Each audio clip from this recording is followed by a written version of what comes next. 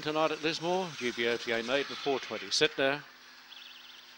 You know she knows, and Phantom Bevo begun well, favourite very slowly away, but mustering speed mid-race and down the back. Phantom Bevo goes the lead. In second place, Andy Raw, followed by Trincomalee for the back. Then You Know She Knows. A gap on the inside, Mega Rose High, followed by Morello's High and Oberdazzle on the corner. Phantom Bevo just the leader. Trincomalee tries hard. Andy Raw is running third. It's in this trio. Andy Raw getting through is getting off the track with Phantom Bevo and Andy Raw got through on the inside, beat Phantom Bevo, Trincomalee and Mega Rose High, followed then by You Know She Knows and uh, Oberdazzle and Marilda Rose High.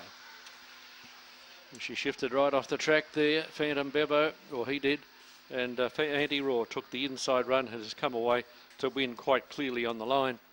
Brindle Dog by Benny's Toll Can't Stop Me, and, and trained by Malcolm Russell at Takabia. 24.55 was the time, 24 and 55.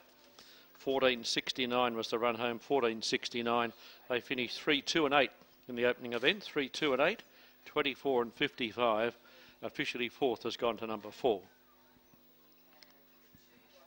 Margins two by three quarters there, two by three quarters with an opening split of 986 home in 1469, 986 and 1469, 24.55 overall.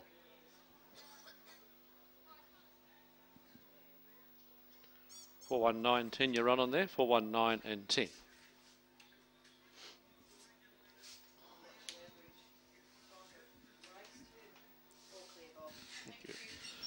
There's the all clear on race one at Lismore tonight. All clear, 3284, two by three.